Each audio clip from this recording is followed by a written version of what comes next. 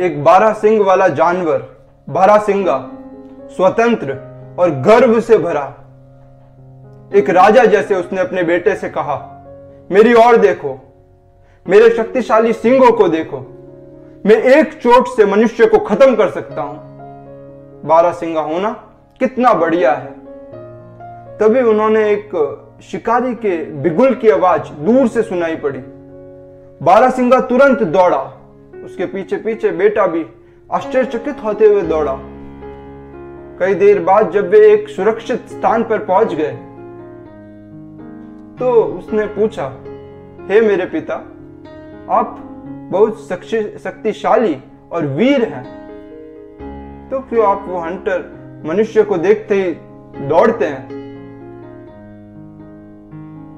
बारासिंगा ने जवाब दिया हाँ मैं शक्तिशाली और वीर हूँ।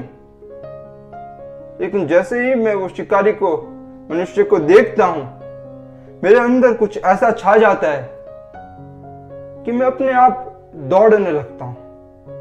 मैं चाहूँ या ना चाहूँ। जैसे वो बारह सिंगा, मनुष्य से बहुत ज़्यादा ताकतवर है। एक चोट में मनुष्य को खत्म कर सकता है। लेकिन देखते ही दौड़ता है। कारण भय। वैसे ही हम मनुष्य, हम जानते हैं ऊपर वाला इधर है। हम उसके संतान हैं। लेकिन परेशानियों से छुटकारा पाने के लिए एस्ट्रोलॉजर्स वो मूर्तियों के पीछे दौड़ते हैं। कारण भय। सबके हर एक के अपने एक कारण हो सकते हैं। जैसे स्टूडेंट वो उधर जाके माथा टेकता है एग्ज़ाम पास करने के लिए। उसका कारण है, कहते हैं एग्ज़ाम फियर एक बिजनेसमैन भी जाता है, उसका कारण बोलते हैं how to earn more money more and more कहेंगे, लालच। वो मूवी में दिखाते हैं ना हीरो अपनी माँ को कह के जाता है माँ, मैं वो लक्ष्मी वाले मंदिर जा रहा हूँ। कौन सी लक्ष्मी? वो जो हीरो के कॉलेज में पढ़ती है। टेम्पटेशन। खैर, अगर हमें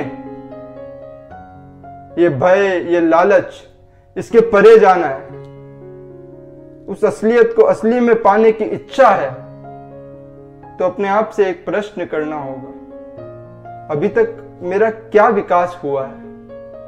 इतने सालों से मैं ये अलग अलग करते आ रहा हूँ। मेरा क्या विकास हुआ है?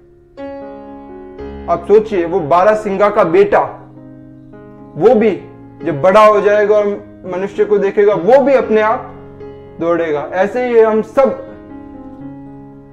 जा रहे हैं। मूर्ति में माथा टेक रहे हैं, मूर्ति पूजा कर रहे हैं।